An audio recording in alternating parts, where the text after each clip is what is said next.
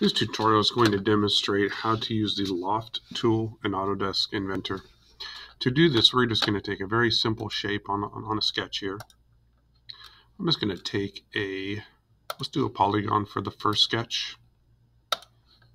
Now I'm not even going to constrain or dimension this because I'm just demonstrating how to use the tool itself. What I need for a loft is I need two sketches on two different planes. So this is my first plane. I just used one of the three origin planes available here. For my next sketch, I'm going to do an offset plane, which means I'm going to reference the plane I just used.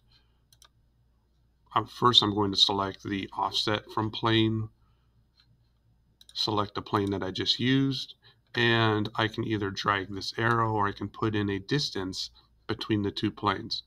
And for our purpose, it's kind of irrelevant right now. I'm just going to make it, I don't know, a couple inches. Inch and a quarter. There we go, or excuse me, inch and an eighth. I'm going to draw another sketch on that second plane.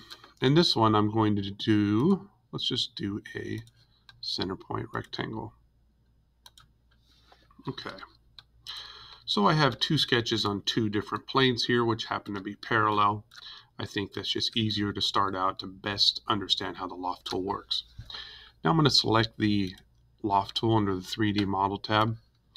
And there are different types of lofts with different rails, but I'm not going to use any rails right now. I'm just going to use my sketches under the sections side here. So if I click to add, I should be able to select my two sketches. And as you can see with the preview, the loft essentially finds ways to connect those two sketches.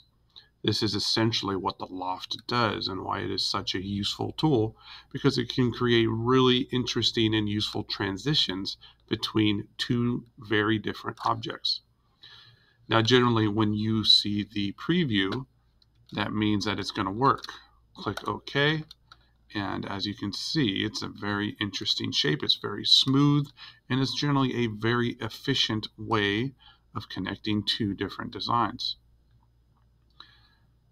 I encourage you to play with this, use some rails, use the center line, and you can see all the different objects that you can create.